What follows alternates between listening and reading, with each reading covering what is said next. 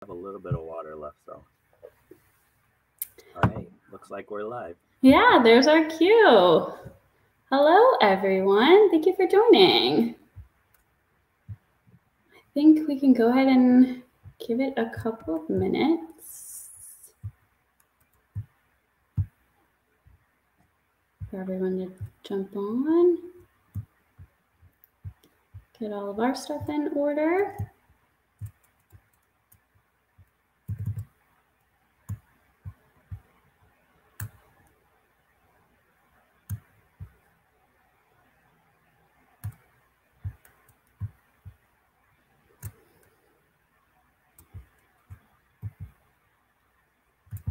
Don't want to sit in silence for, for too long, but um, how is the the weather over in St. Louis? Oh, it's nice. Yeah, the leaves are starting to turn and uh, fall is starting. Um, I mean, the weather is, is fantastic, nice in 60s and 70s. So it's my favorite time of year to go outside and just smell that fall air. It's just it's fantastic. I know, right? We were talking internally last week about just fall and how it means so much for us, but you can see it so much in the dogs, like the little extra pep in their step with the cool air and stuff. So that always makes me super excited to see them like come out of summer lethargia and have right. a good time. So yep. same on our side. Yeah, especially those uh, those walks in the park and uh, walks down to the pond, and it's just seeing them run around. It's pretty fantastic. It's a pretty great time of year. So that's for sure. For sure.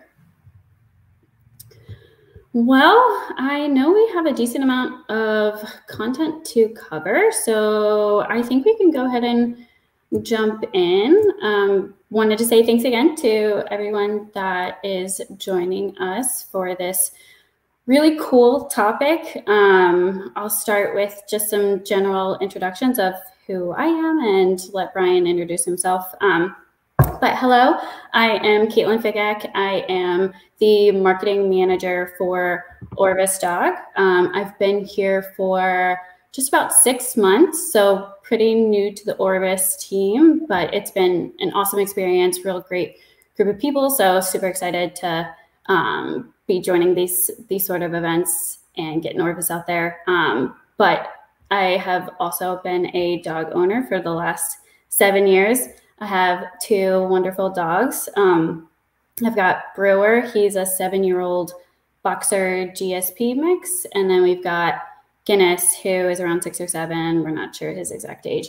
Um, he's an Irish Setter Brittany Spaniel mix, so they keep us nice and busy, which is awesome. Um, and we we love them, and it's a big reason of how I found Orvis.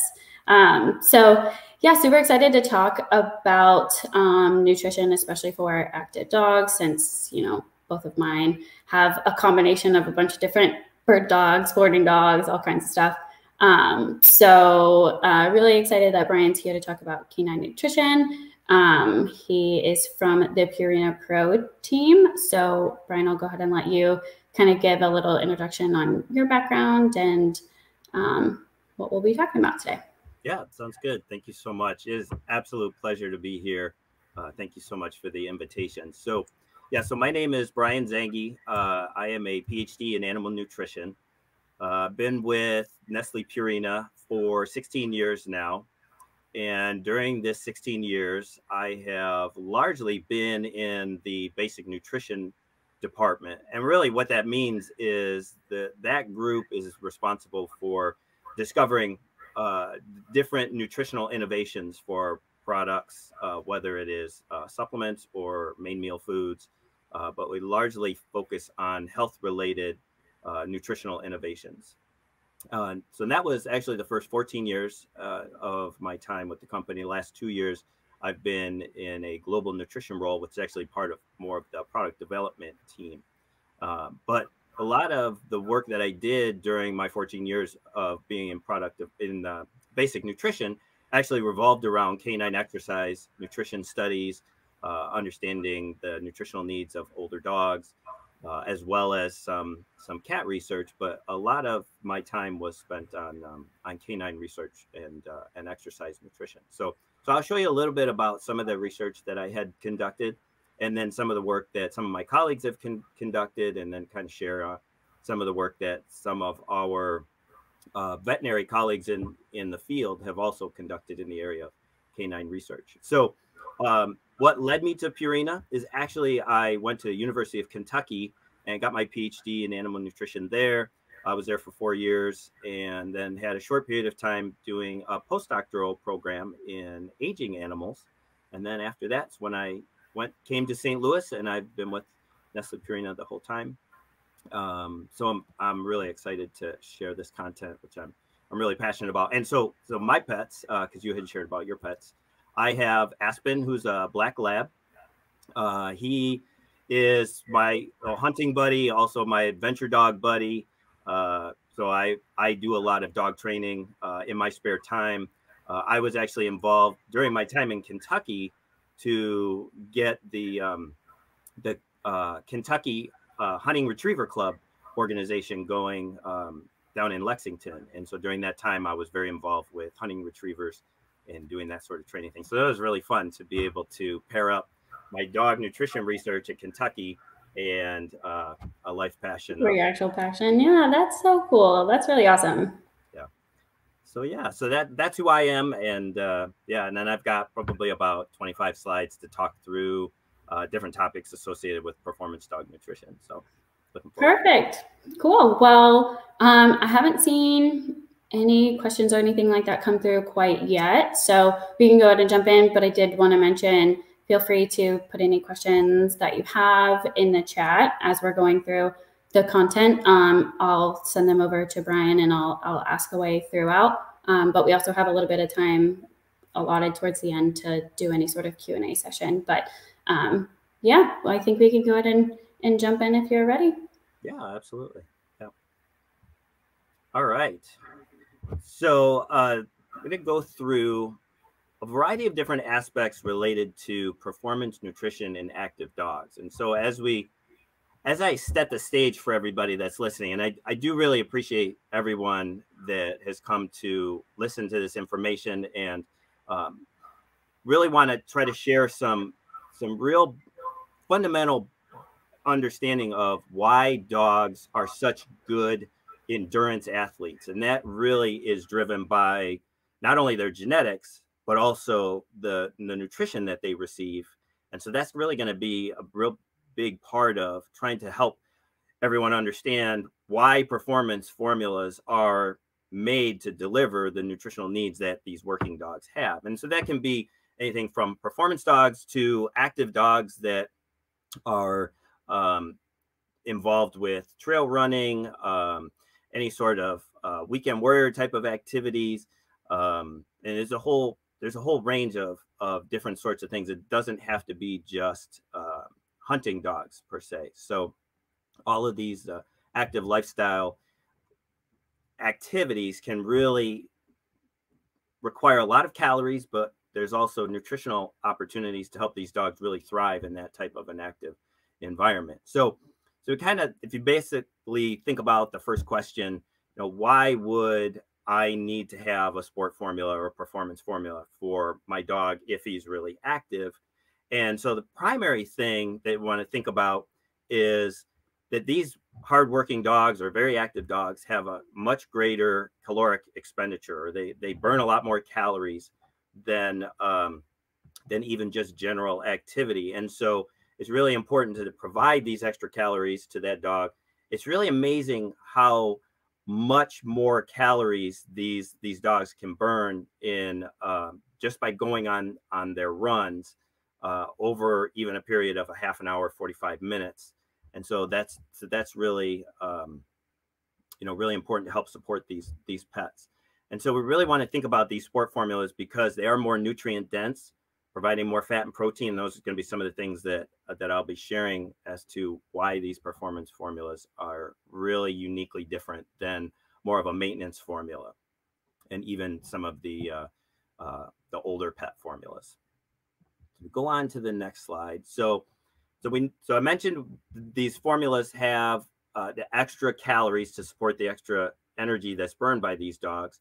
Uh, But what's also really important, and I think probably the more important thing, is that it's actually the proportion of nutrients that um, are actually in the formula that are more tailored to a working dog's metabolism, and that's this this uh, bullet point on on the very bottom.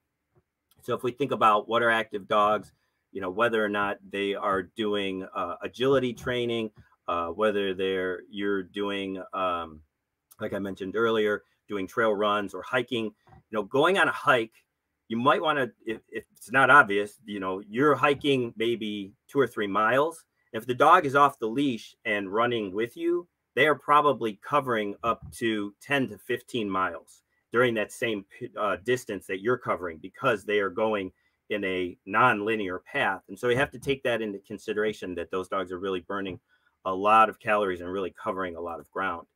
Um, so when you think about performance dogs, you take that a little bit further and you think about all of the rigorous training that goes into three, four, five days a week, uh, the field trials, the hunt tests, um, canine athletes from the perspective of herding dogs, um, dogs that are really working for an hour, two hours, three hours a day, are really having a, a very demanding amount of caloric needs. Is also um, a lot of, a lot of um, uh, metabolism that's going on to support that that physical activity.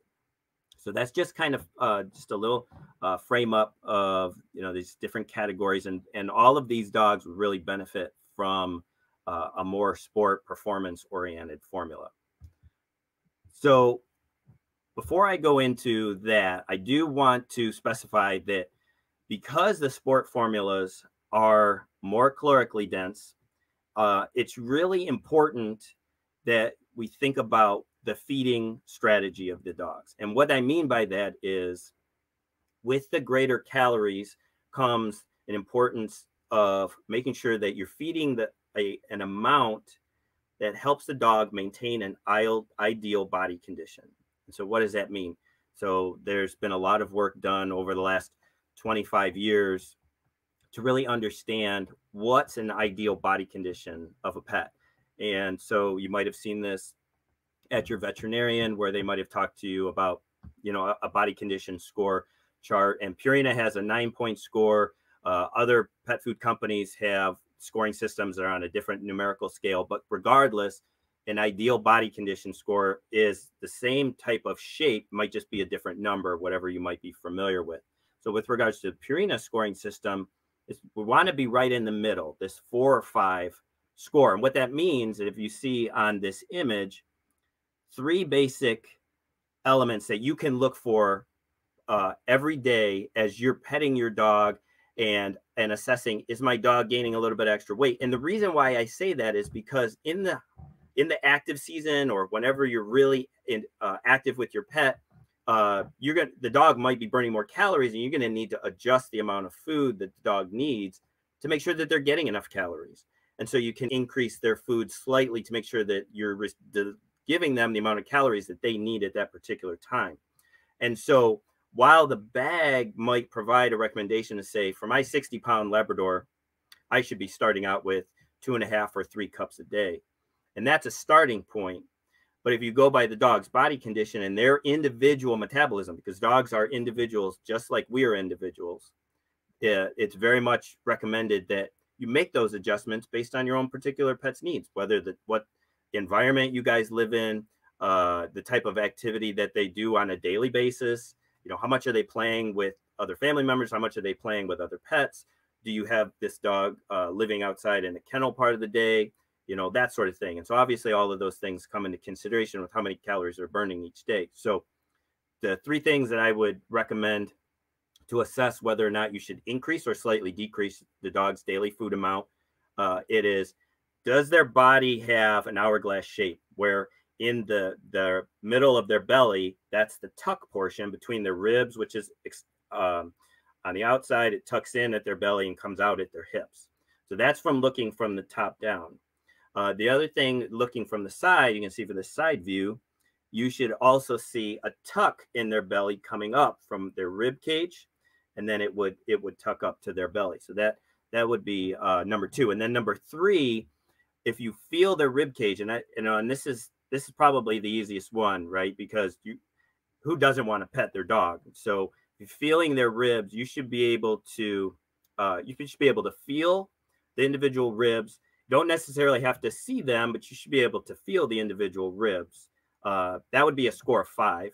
Score four is if you can see the slight individual ribs uh, there, but the the rest of the the rib cage structure is is not excessively uh, exposed. The dog should be able to stand, maybe breathe, and you should be able to see the ribs. And then maybe when it's standing passively, it uh, you, you might not notice it as much. And that's about a four. So that's just a little bit of something to consider because these these higher calorie foods in the off season you would want to drop the food down. They're burning less calories. They're going to need less calories. You can feed them less and just maintain this ideal body condition score.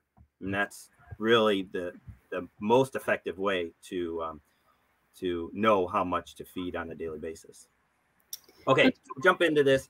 Um, so we think about optimal nutrition. Now, when, when we're talking to breeders, we're talking to sporting enthusiasts, and they're really wanting to drive their dog to or, or compete in hunt test trials, uh, other events where they want an optimal level of performance for their pet.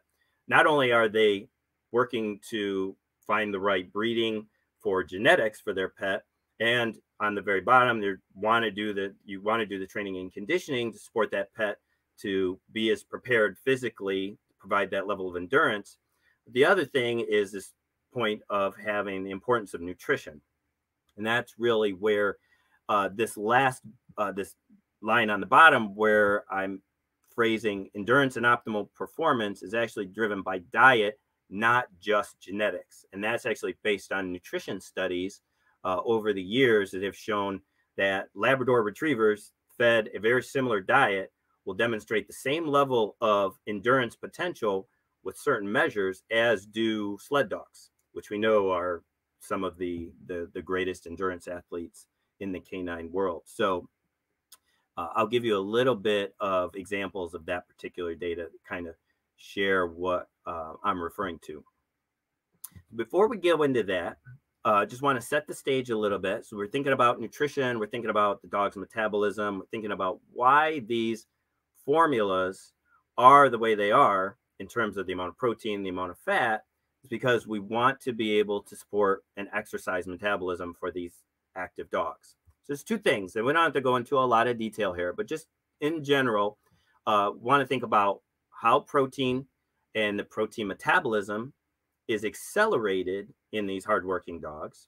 Because if you think about it, they're they're running just like us when we exercise and we maybe go to the gym and we run and we lift weights and we get a little sore, that's our muscles uh, responding to that exercise. And so that soreness is the muscles breaking down naturally because of exercise. So that way the muscles can adapt to make you stronger as part of the conditioning process, right? So that's so that's our our um, our adaptation, our conditioning process, and through that we uh, have this build up and breakdown of protein that naturally occurs every day. These exercising dogs, think about their protein cycle is working that much faster. Okay. So that's protein metabolism. The reason why higher protein is really a value in a performance formula or sport formula. In addition, and this is really, I think, one of the key takeaways that I want to share with everyone is that for people, for, for you and I, when we exercise, it's very important that we have uh, carbohydrates in our diet. And that's really valuable to support our ability to exercise effectively. Dogs are uniquely different, is that they actually have a preference and a primary use of fat as their driving energy source for exercise and overall daily metabolism. And so, as uh, we think about exercise metabolism, you know, we step back for a second. You know, as I mentioned earlier, dogs are probably the world one of the world's most um, efficient athletes among all of the animals. And so they really rely on the ability to run long distances um, while probably not having eaten as they're you know looking for if you think about wolves as they're traversing very long distances um, for prey then they're really needing to function on their fat stores over a longer period of time. And so fat really has become uh, very critical to their metabolism. And so what you see here is what I, what we refer to as the cell furnace. So within all the cells, there's a there's a piece of the cell called a mitochondria. So that's the cell furnace. So you have all the energy nutrients, whether it's fat or carbohydrates or even proteins in some cases, they actually get burned there, generates energy for the muscles to actually fire and work and, and move. And then that's where you uh, produce your carbon dioxide. Same thing for dogs. And they're using oxygen in this process. It gets converted to carbon dioxide. And that's the energy generation system. So these cell furnaces are preferentially using fat in dogs versus where in people they kind of preferentially use more carbohydrates. Um, and one example that we like to share is that when you think about these cell furnaces and you think about um, the world's most uh, high endurance athlete, all right, we'll think about um, you know the best marathon runner uh, we'll think about uh, the best cyclists. The top athletes in the world are not as metabolically uh, as good, or the I should say, a a dog couch potato has a better endurance metabolism as measured by the function of these cell furnaces than the best human athletes, and that's been documented uh, across a variety of, um, of research studies. So, so these are really what we think about in terms of how we want to feed a dog to deliver the right nutrition to help these endurance athletes function optimally. So let's go a little bit further. So I've got this little illustration. Those little black dots are the cell furnaces or the mitochondria in the muscle cells. And so I'm going to take you to the next slide and I'll give you a little bit of an explanation of why these cell furnaces are so important with regards to diet. And so, as we increase the level of fat in the dog's food, they actually have more fat circulating in their blood system, which is ideal because then that actually promotes the dog's metabolism to change. The dog body actually adapts to having a higher fat um, in its uh, consumption every single day. And that's what this illustration on top is, is that dogs that have are on a high carbohydrate diet or more of a maintenance diet will actually have less of these furnaces in their muscles. And as they have get transitioned to a high fat diet, they actually have more of these furnaces. And why is that important?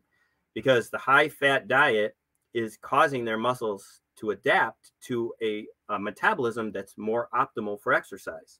So not only are you getting more fat in the dog's system, which it preferentially uses for exercise, but it, the body is also adapting to use that energy source. And then there's a final point, which I referred to before, the difference between Labradors and uh, sled dogs. They actually conducted this study where they fed uh, Labradors a high carbohydrate diet and they had a low amount of these mitochondria, these cell furnaces, uh, and then they fed high fat diet to those same dogs. And those Labradors had the same amount of these cell furnaces or mitochondria in their muscles as did sled dogs on the same diet. And then when they did a performance endurance test where they assessed their level of endurance and how how well they were metabolizing their oxygen and how how far they could go and what was a measure of their their ultra endurance, uh, they were actually performing at the same level. In fact, the Labradors were performing slightly better than the sled dogs, and so that's um, you know this is very interesting to be able to say that it's not just genetics; it's actually their nutrition that's really driving part of their ability to be uh, strong athletes. And so we'll go to this next slide and then we'll kind of start to pivot a little bit how do we measure endurance in a dog? It's actually this what's referred to as VO2 max. And VO2 max means velocity of oxygen metabolism at its maximum rate. And so, meaning that the dog can only absorb the oxygen and metabolize it only so fast. And that's partially because there's only so much mitochondria in there. But as you get more mitochondria, the more oxygen that can be metabolized, the more that energy can be generated to support endurance type of activity. And so this is one of the ways that uh, people measure their endurance uh, for people, and that's how we also measure it in dogs. And so if you see products that are talking about their performance formulas, more than likely you will see claims and um, and statements around promoting an improvement in their VO2 max for these athletic dogs. Um, just to round out, so like what does that mean? So in terms of a performance formula, how do we deliver that? Uh, there are Pro Plan formulas that are a 30% protein. So you can see that down here on this bottom part, 30% protein and 20% fat. That's what that ratio means 30 20. 30 20 is the performance formula. We also have an active formula, and the 27 17 means 27% protein, 17% fat. And those are higher levels than more maintenance, non sport related formulas that can be um, 26% protein, 16% fat, 26 protein, 14% fat.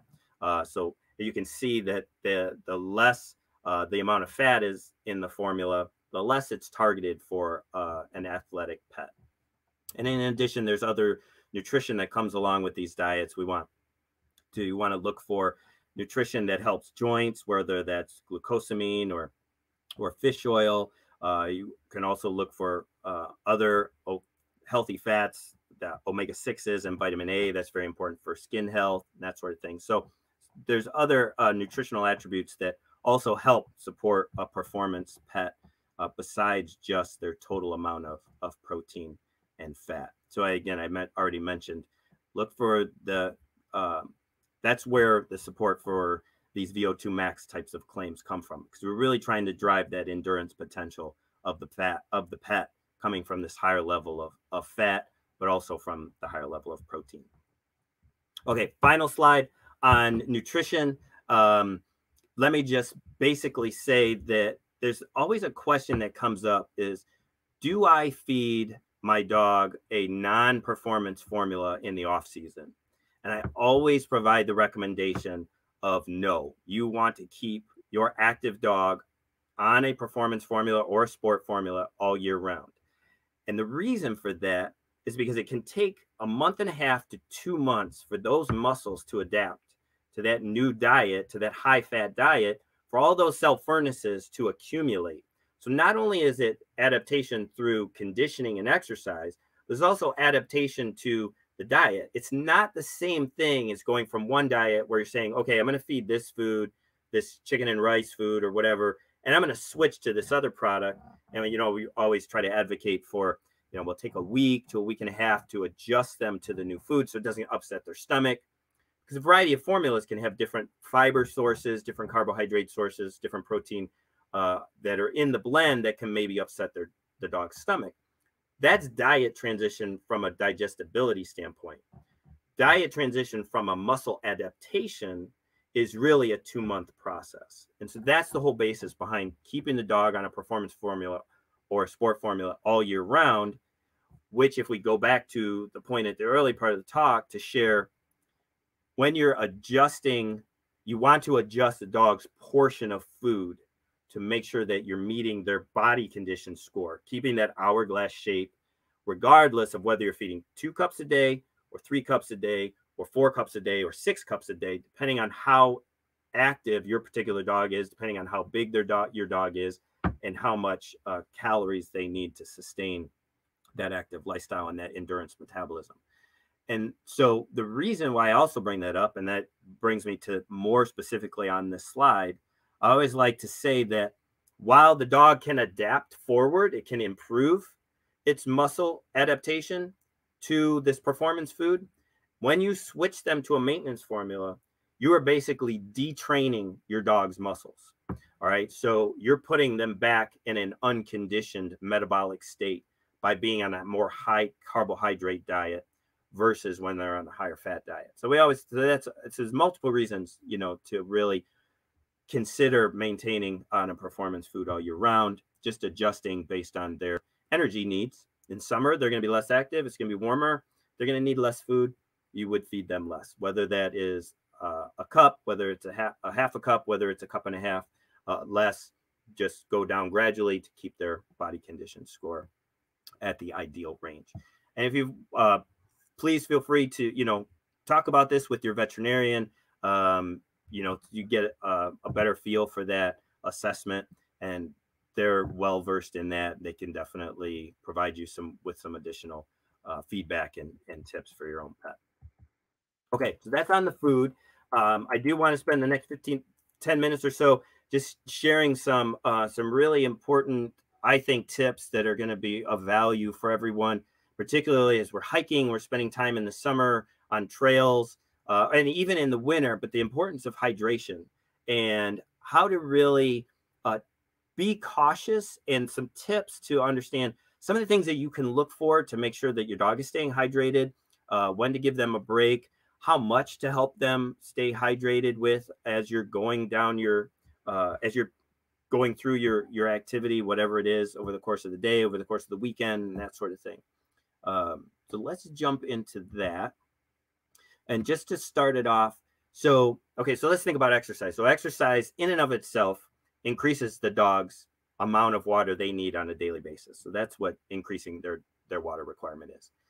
Um, obviously the more intense and the longer duration that they exercise, the more that their body stores of water are going to be depleted.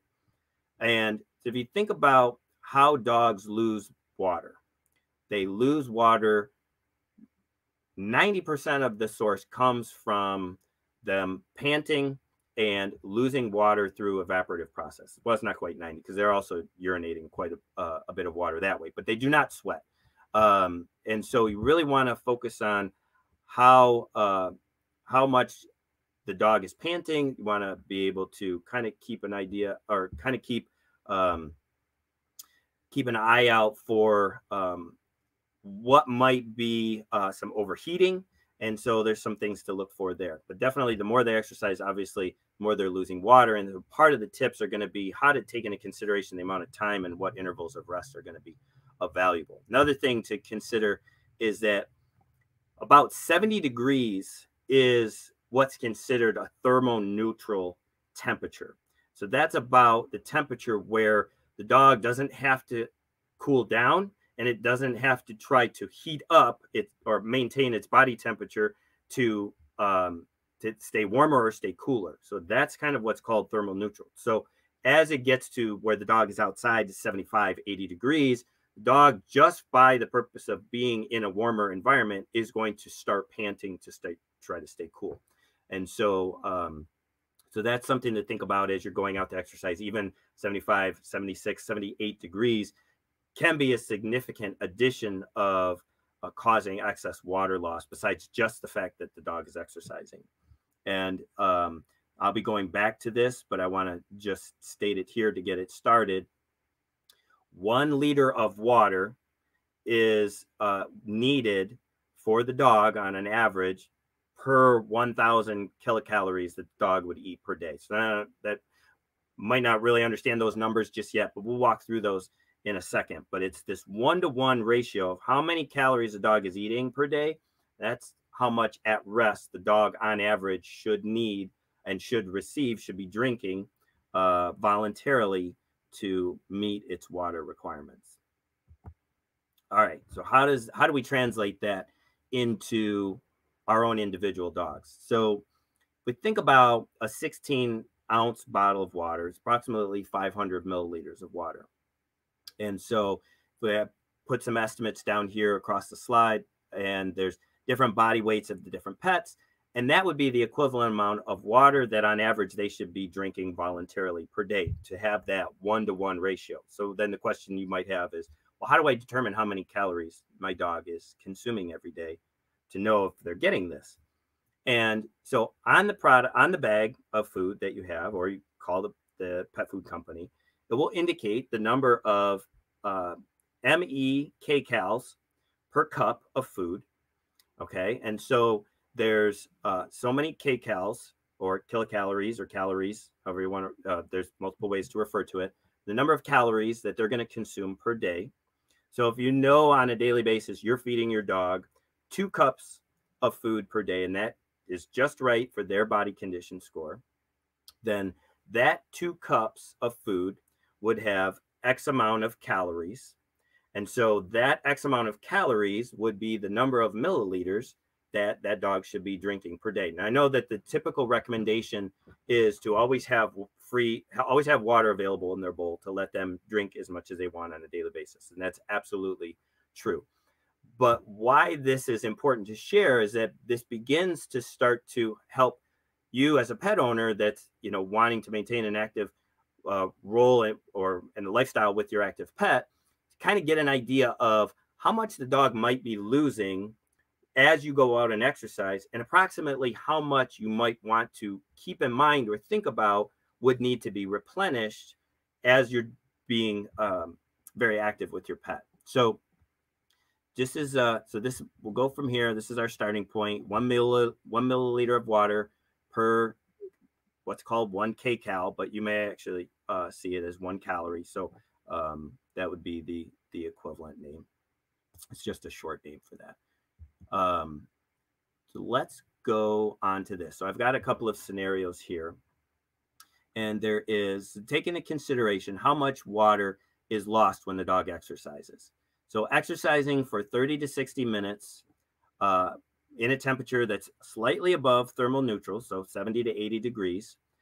Uh, so just in that 30 minutes to 60 minutes, the dog can become mildly dehydrated, between 2 to 5% dehydration Of course, that depends on how intensely they're act- exercising, what's the temperature outside, how well conditioned they are, how well hydrated they are uh, before starting. All of those things play a role. So if we look at this uh, down here, then let's start with this 50 pound dog, or we can start with the 70 pound 70 pound dog. That's more closer to my black lab. Um, that dog is approximately going to have 50 to 70 percent of its um, uh, body is is body water. Okay, so then that equates to uh, about half of its weight. So 70 pounds, half of its water is, we'll go with 35, 35 pounds. Okay, if it becomes 2% dehydrated, okay, then you've got you go all the way over, and the dog can be losing between 300 and 400 milliliters of water that can be lost per day. So if you think about um, just to replace the dog's amount of water, they would need to be consuming approximately two thirds uh, to maybe a half of a full bottle of a 16 ounce uh, bottle of water. That's for a 70, 70 pound dog after about 30 minutes uh, to 60 minutes of exercise, depending. Okay, so let's just keep that keep that in mind. Um, now, obviously, if they're getting slightly more dehydrated, that's quite a bit more water to try to replace. Where we're going to go next is you don't want to try to replace all of this water loss all at once because the dog will actually not fully replenish uh, all in, in one intake. Um, just because the dog will not want to drink that full amount all at one time. So it's much better to give them uh, smaller amounts um, over a period of time at, at a lower, uh, a more frequent interval than all at all at one time. All right, let's go through here.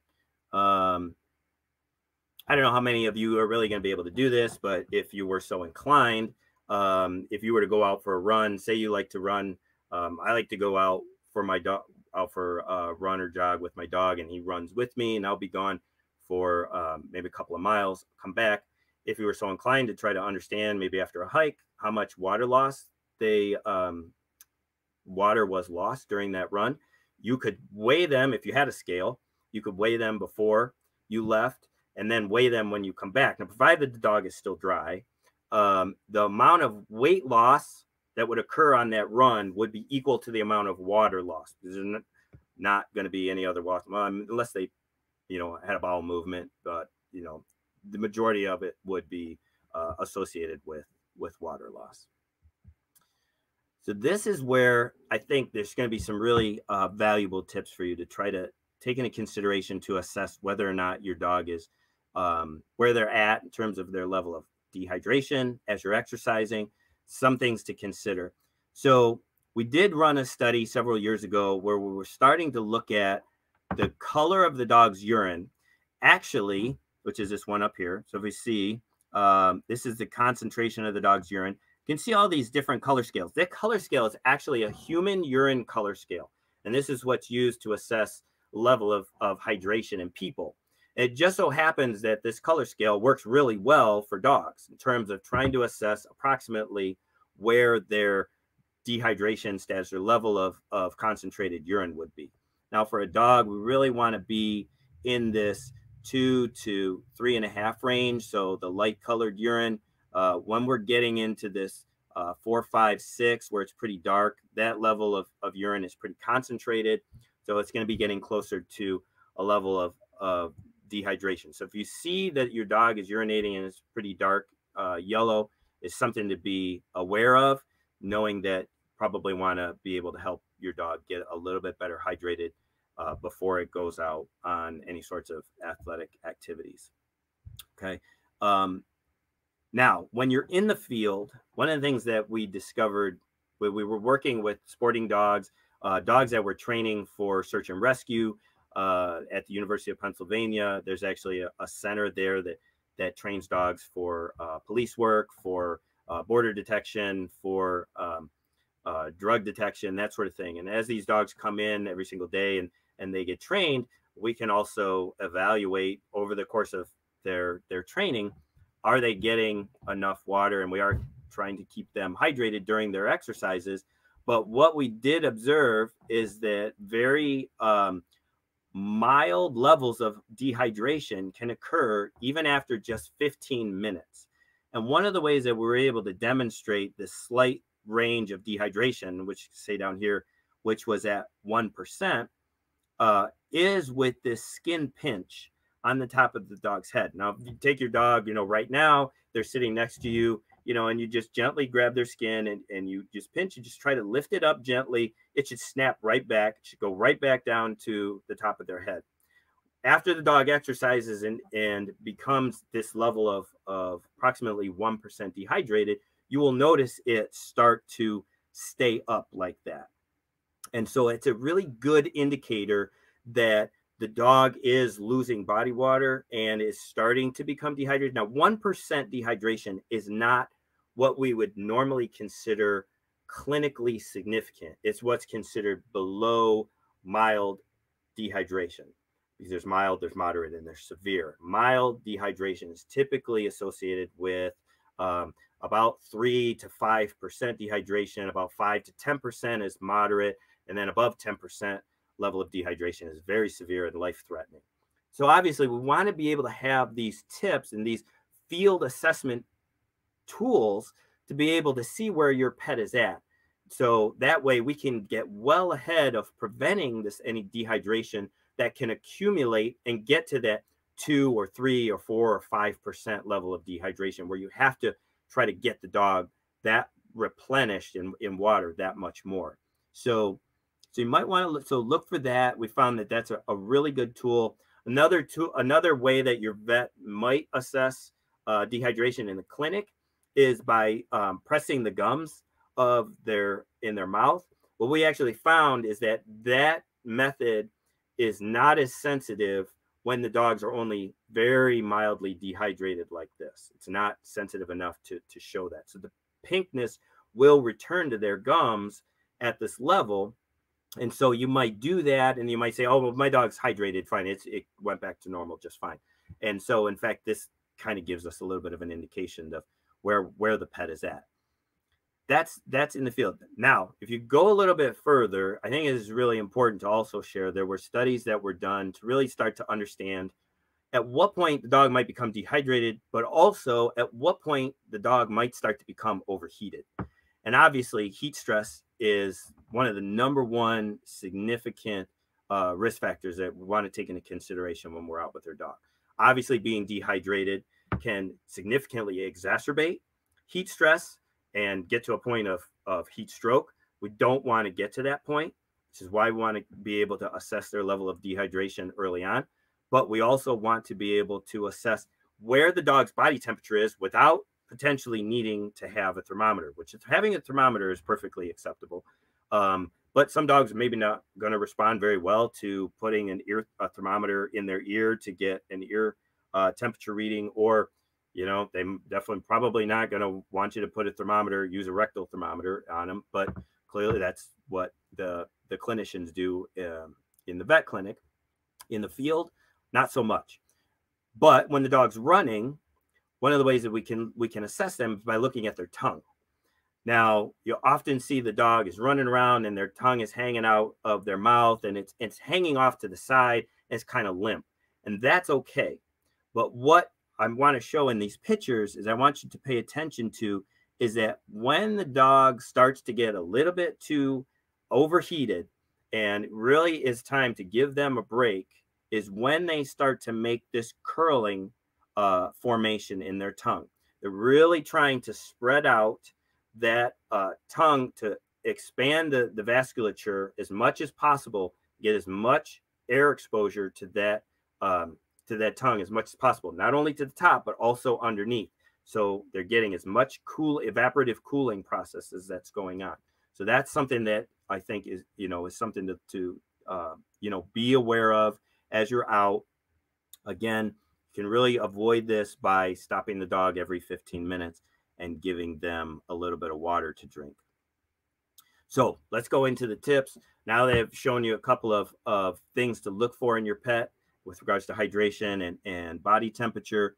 We really want to think about these frequent small volumes of water that can be provided over the course of whatever activity you're doing with your pet.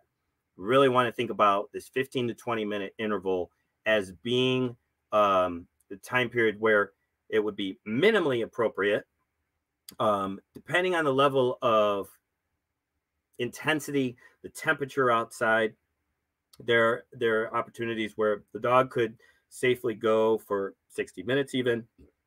That's not exactly um, ideal particularly depending on on how intense the, the dog is is exercising but um, if it was just a small trot and the dog was just slightly trotting with you probably could very easily go especially if the dog was well conditioned could go for an hour without necessarily taking a break. But a good rule of thumb is 15 to 20 minutes maybe half an hour I mean, there's no reason not to stop the dog, be able to give them a little squirt of water from a dedicated water bottle in the back of their mouth and help them uh, get a little bit more rehydrated. The other benefit there too is that it also helps cool the back of their throat and helps bringing their their body temperature down a little bit.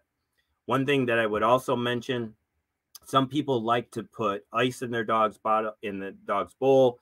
Um, I am personally am not an advocate of that. Um, just like people, dogs can get head rushes from consuming very cold water too quickly.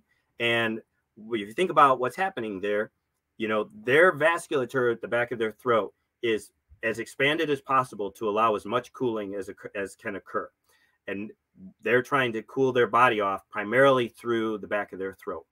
By having a very, very cold uh, amount of water in the back of their throat will cause those vasculature to constrict, and that can uh, reduce blood flow to the brain. And I have seen some dogs which really feel quite uncomfortable if consuming uh, excessively cold ice water when they're overheated. So I would not advocate for ice cold water. I do advocate for cool water uh, or or room temperature water, uh, but not necessarily ice cold water just for for that excessive constriction risk. Um, how much is is small? Okay, this kind of goes back to the example that I had. Um, we use that 50 pound dog, uh, one uh, body water loss. So one percent of that 50 pounds is 0.07 of body weight. Um, and so then you, I'm sorry, that's 0.07% uh, body weight. So at 0.35 pounds, which is equivalent to 150 milliliters of water. So, so think about it this way: the dog runs for 15 minutes.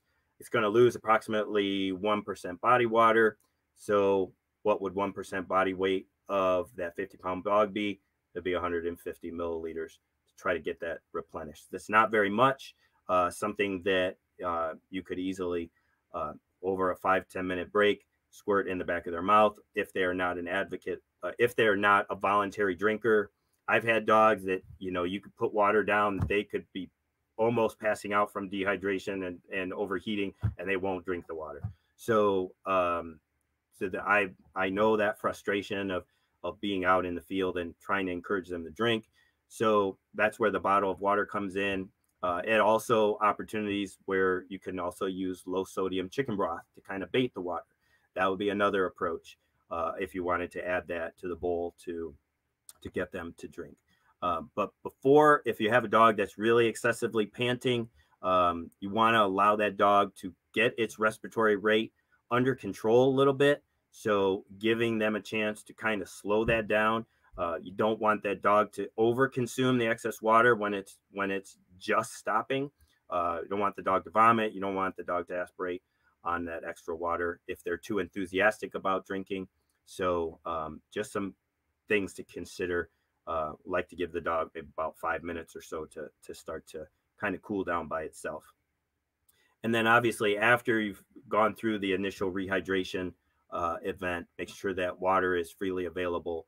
Um, and one thing that you know to reiterate, if you the dog has run, the dog has exercised, and you put free water available to to let it drink what it feels comfortable with nutrition studies have demonstrated that the dog will not adequately rehydrate itself for more than 24 hours after that event, particularly if they've become uh, in that five to seven percent dehydration zone. It's just physically their body will tell them they're full before they're fully rehydrated.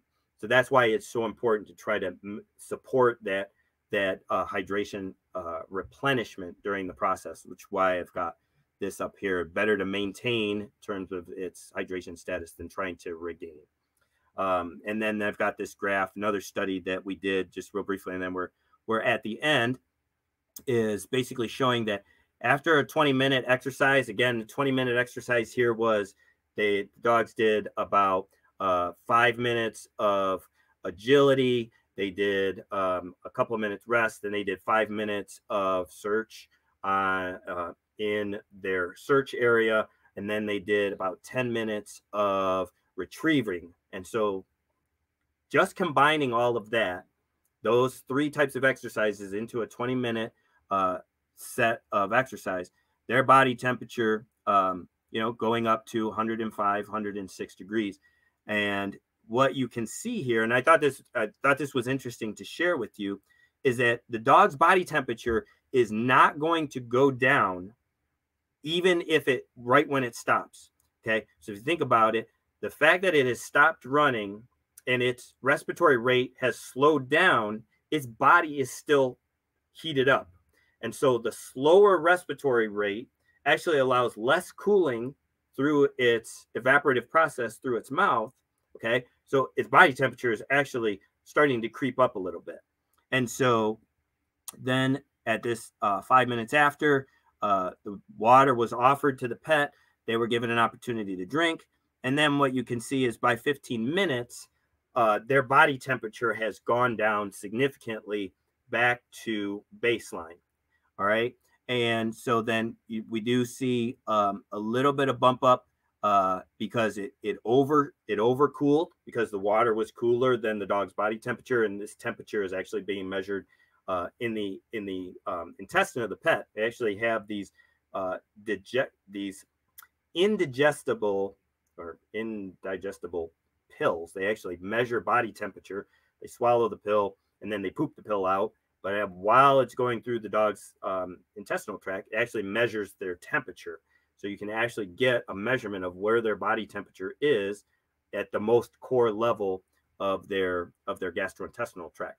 And so what you're seeing here is that that cooling effect from the water, and then as the water helps support, uh, then the body temperature after rest starts to stay at its recovery zone and normal baseline. So just some little information there. I thought that might be kind of interesting.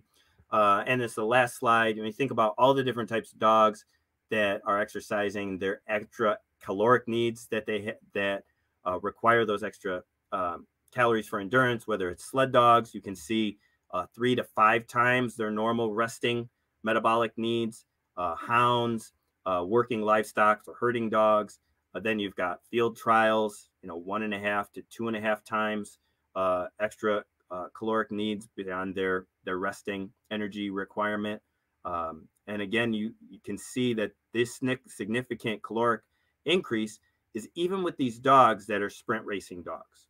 So even though these dogs are racing for a very, very short period of time, they're um, and they're considered, you know, low endurance dogs.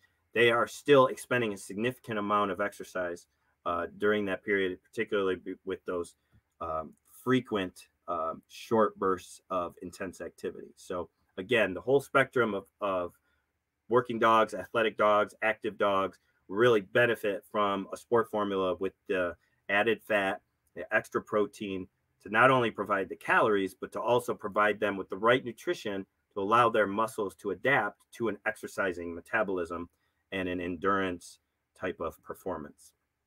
And with that, I will wrap up.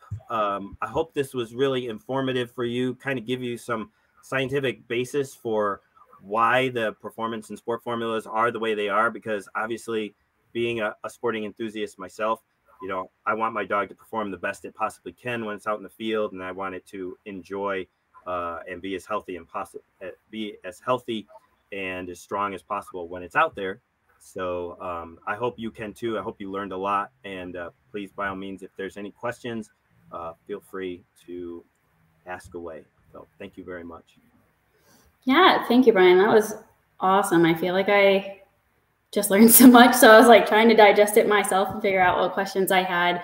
Um, I, I've got a couple. I'll start just in order of how the presentation flowed, starting with some nutrition pieces. Um, I was curious, slash, just in general, um, when it comes to my own dogs. So they eat twice a day, once at noon, once in the evening. I've always wondered, like, when we're going out for like an entire day on the river, like we're going to be gone all day kind of thing. Yeah. I always question when to feed them, like if I should feed them their normal amount or like their lunch before we go and we should take food with us to try and stick to a schedule or anything like that. So I was just curious if you had any general recommendations for like day of their activity or event, whatever that may be, um, tips yeah. for feeding on that day? Yeah, that's a great question. And that's a question that comes up a lot. So for being gone all day, I think there's a couple of things I would recommend is the night before, I would definitely add water to the dog's food in their, their meal evening to really help get that extra water in their system. So that way they can start the next day a little bit more hydrated. Um, but if you're when you go out the next morning or the next day and it's really going to be a full day, I would advocate for not feeding them in the morning because it's much better for the dog's ability to exercise and it's better for their health from the standpoint of not having a full meal in their stomach when they exercise. And the reason for that is because we don't want to have all that extra bulk in their stomach, which can really cause stomach upset. And in some cases, it's been uh, associated with an increased risk of stomach torsion. And so we really want to kind of prevent any of those or minimize any of those risk factors. And so, but most importantly, the the dog's endurance potential is going to be much stronger. They're going to be much more comfortable um, not having eaten and then feeding them after they're done exercising. Um, and so that's really what we recommend all the time for people with active and sporting dogs is that when they're going out to hunt, when they're going out to work, that they would not eat before, they would eat right after. Uh, not immediately after. You want to focus on hydration and getting them cool down, but within 20 minutes uh, after they cool down, that would be a good time to feed them their meal that day. Okay, cool. Yeah, that makes sense. Um, I was trying to think if if I had any other follow ups on that one, but I don't think so. Um, but we did just get a good question to come through, and I think it it speaks to just kind of what's going out there on the industry. Um, how do you feel about the recent raw food diet um, kind of trend going on right now, and and how those formulas or whatnot, how they kind of compare to to that side of things? Well, I mean, so the raw diets, as long as they're complete and balanced and formulated by a reputable company, and you know they have all of the protein and fat and other vitamins and minerals, then as long as they're getting all of the appropriate nutrition, I think they're they're fine. The, other, the only there are risks associated with raw diets. I mean, obviously that comes along with um, bacterial risk and and that sort of thing that can cause illness. Um, so there are dis- those are some of the disadvantages. But in terms of if the diet is formulated appropriately, then um, there shouldn't be anything wrong with that. Um, but there again, there there are pros and cons. You know, there's a safety factor with uh, with raw diets that is definitely something that uh, you have to take into consideration for sure. Yeah, I think you breaking down the fat and protein content was really cool. It just makes me think about like some friends in my network that are super into their own fitness and health and their own specialized diets based on their activity levels. So I think it's just really cool to to break it down from that standpoint and identify what exactly is needed and, and how do you fill it through whatever means feel appropriate for for each person and their dog. Absolutely. Absolutely. Um, cool. I think that was most of the food related. So I'll jump over to a couple of hydration points. One, I just wanted to feel better about myself because I think you just made it apparent that like dogs need a little bit of help when it comes to regulating their body temperature because I think a lot of times I step in and I'm like, oh, my dog needs to go inside. They're too hot, or forcing my dog to drink water. Some people are like, oh my gosh, that looks mean. And I'm like, no, he needs it. Like, I feel like there's that, that point that it, it was nice to see that like dogs won't necessarily self-regulate all the time, especially while they're out doing the thing that they love. So feeling like you're, you're empowered to step in and know when, when they need you feels, feels really nice. Yeah, absolutely. and you know, having been in that situation myself and seeing all of there, I mean, that's something that's pretty common. You know, being out in the field with a lot of people that I've I've been out hunting with, or um, you know, out at the dog park. You know, you think about the dogs at the dog park. You know, they're running around, being very enthusiastic, and you know, really wanting to play. Right? They're really wanting to participate in all of the excitement that's going on. You know, and trying to get them to take a drink. That's like trying to get your toddler to listen when you're at the store and they want a toy, right? They're just they want that candy that which is the candy for the dog is they want to play. So to get them to really drink um, can sometimes be a challenge. I mean, some dogs are very good at voluntarily responding to their thirst sensations, and some dogs uh, can be quite challenging. So that's really where you know having that dedicated water bottle or having something that you know you can add to the dog's water to enhance their desire to drink just to kind of keep them um, you know better hydrated it, it's really valuable for their overall health and then it's going to help them recover and so it's just just something to to be just be aware of you know yeah i think your point on adding chicken broth to their water is really interesting i've never tried that because brewer's not the biggest drinker, but Guinness will drink all the water. So that's an interesting one. But it and your point of adding water to their food reminded me of um, one of my old friends who was big into the upland bird hunting side. He used to soak their food in water the night before. I've seen some things about how long to soak the food for, if you should let it like soak to mush or put water right before they eat. Do you have any like recommendations on if if one is a little better than the other for trying to add that extra hydration in? So I so there's definitely something to consider there. You know, adding the water for the purpose of getting the hydration is is obviously important. If it gets to mush, then um, you know if it's a periodic thing, it's not a big deal. But if it's something where it's always getting to that soft point, then you lose the the the dog food's ability to have cleaning and abrasive type of benefits for dental uh, support for the dogs. So by by losing that rigid structure, then that mechanical action starts to go away.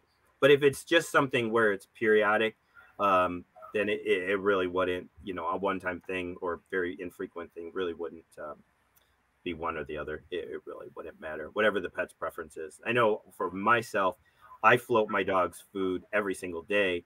He just happened to be such an aggressive eater with dry food that he would suck in so much air, and again, that's been associated with you know a, a risk factor with, with of bloat is that so much atmospheric air gets trapped in their in their stomach, and you know that that gulping and that sort of thing. So it's just like anything you can do to reduce because it's really not known like what causes that.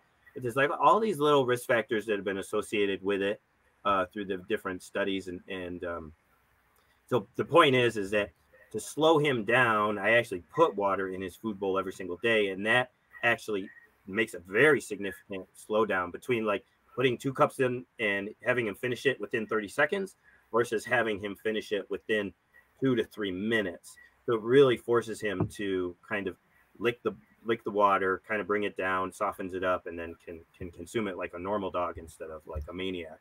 so, you know, with some extra benefits than just the the busy bowls or the slow feeder bowls. So now those, those are other yes, those are other good alternatives for sure, for sure. Yeah, I didn't think about using water for that trick. That's that's an interesting one. That's I like that.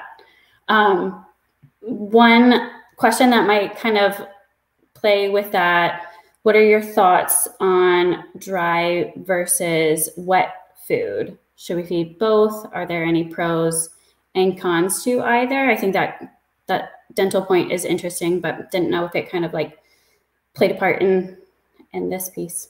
Yeah, so definitely dental. Um, I mean, there's no reason, especially for some dogs, where um, there's been a there's been a variety of situations over the years where they have folks that have really high drive dogs and they have really I don't call them poor appetites, but they're just they're not good eaters. I mean, let's just admit it. I mean, you could try 15 different dog foods and you just just the dog is just not an enthusiastic eater but sometimes you have a wet food and it can really provide that level of enticement that can help. So in that case it's a good additive. It does help bring in some extra protein um, some of maybe some of the disadvantages of uh, soft food exclusively is that you do end up having to feed that much more uh, actual food. It does get more expensive. There's um, there's obviously there's there's more water in that because it's wet food, but then you have to physically feed more to get all of the calories um, consumed. It tends to also have a little bit more um, different fiber composition, and so for some dogs they might be a little bit more sensitive on their stomach to. So in a wet food, you would probably want to make sure that you add that in slowly, so that way the the dogs bacteria and microbiome in their gut has time to adjust and so you don't get the soft stool type of issues. So it's definitely you definitely do it. I know a lot of people that that do it as an add-on um, for for palatability enhancement for whatever food they're on or just for preference which is perfectly fine too. Um, i would say if you're going to do that i would leverage um, a more super premium type wet food as opposed to a wet food that's maybe more tailored to um, a non-sporting dog um, because it's going to have it's going to have less protein content it's going to have a little bit more on the carbs. And so it's just you know always being mindful of the amount of protein and the amount of fat is really going towards the sporting dog. So so yeah so i mean it just it has its pros and cons. Yeah. I think back to back to that piece of the nutrition and where where it makes sense for the activity levels and all of that. What another thing that wet wet food comes in good and is is handy is it kind of to your example earlier we said well, we're going to be gone all day and you know we're going to start the event or we're going to go out we're going to be in the field from i don't know 10 o'clock until like maybe 4 right and so if you don't really want to give your dog a big meal um, during the day wet food if they're used to eating wet food or wet food combined with you know maybe a quarter of a cup to an eighth of a cup of their dry food small portion just to kind of maybe give them a little bit of support energy boost over the course of the day especially if they're not used to eating once a day. Mm-hmm. um, that can be something where kind of help bridge the gap a little bit. So in that case it's not a full meal but the wet food is a really good um, it's a really enhancement provide a little bit of extra energy without but remember in that case it, it really is a small portion of what the dog would normally get on a meal it's not it's not a meal replacement it's it's just an additive for extra nourishment and that calories in that yeah in that particular moment versus their meal for the day. Yeah. That makes a lot of sense. Mm-hmm. Um, I know we're close to time, but we did get one extra one I might want to ask because I think it's a good one. Um, Alex asked, do you have any puppy food recommendations for a hunting dog before the 30-20 formula?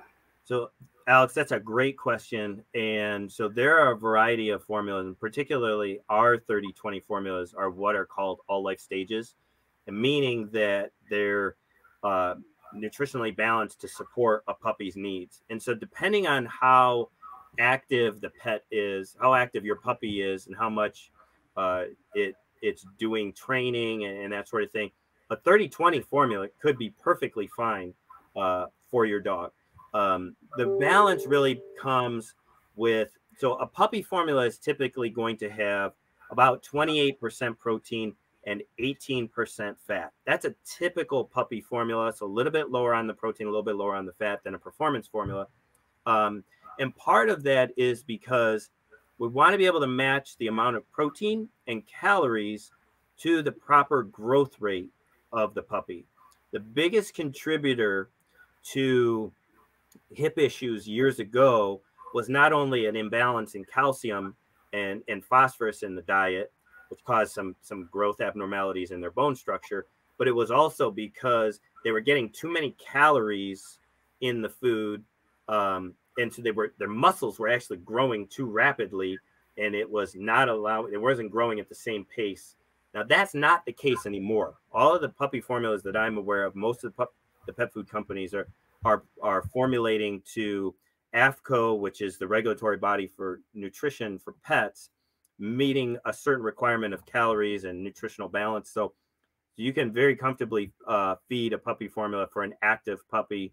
You could very comfortably feed the 30-20 formula. The key always is to feed the puppy to the ideal body condition score. And I know that that can be kind of challenging because you know that puppy's growing so fast and you you have to make those adjustments. You have to say, okay, you know, between eight weeks and 12 weeks, I'm feeding so much, you know, I'm feeding three times a day, and then it's going to grow, and you're going to kind of see it's going to kind of get a little chubby, and then it's going to get a little thin. It's going to get a little chubby, and it's getting a little thin. So you're kind of always playing this game of feeding more to meet its growth rate, and so that's why really being in tune with its body condition and watching it grow and making those slight adjustments um, almost any of the uh, the pro uh, any of the pro plan puppy formulas are going to be ideal for that. But again, you probably want to look for a 2818. Now, if it's a large breed or an extra large breed, those puppy formulas are going to be about the same protein level. They're going to be a slightly lower fat,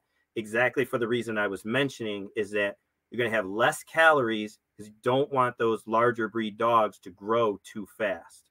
And so but again, it's all going to be dependent on how many calories they're getting, how many calories they're burning, and keeping their ideal body condition um, consistent over the course of that that growth period. So um, I know it's kind of a long-winded answer, but I wanted to kind of you know kind of give a couple of different uh, perspectives on on that. So, um, but any particular puppy recommendation, puppy food?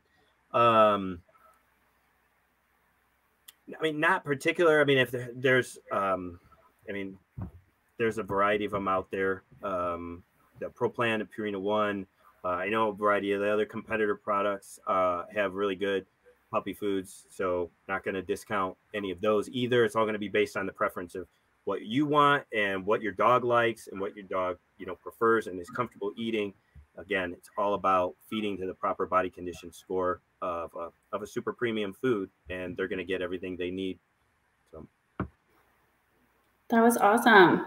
Thank you. Thank you for all this, and thank you everyone that joined and popped questions in. I know that optimal health score has been huge. I think it's been part of the conversations with my dogs as they've gotten older. I don't even like to call them older, but after they hit six years, our last visit, we've started having more of those conversations. And they told me around 5%. 5%, if they're starting to look a little over or a little under, you can adjust 5%, feels like a good range. So that's what my vet told me. Everybody consult yours. But I know as you were talking about increase, decrease, and what amount that actually looks like will vary for everyone, but um, super super great information. I I learned a whole lot, so I'm sure everybody else did too. Um, any any last thoughts or anything like that from you, Brian? Um,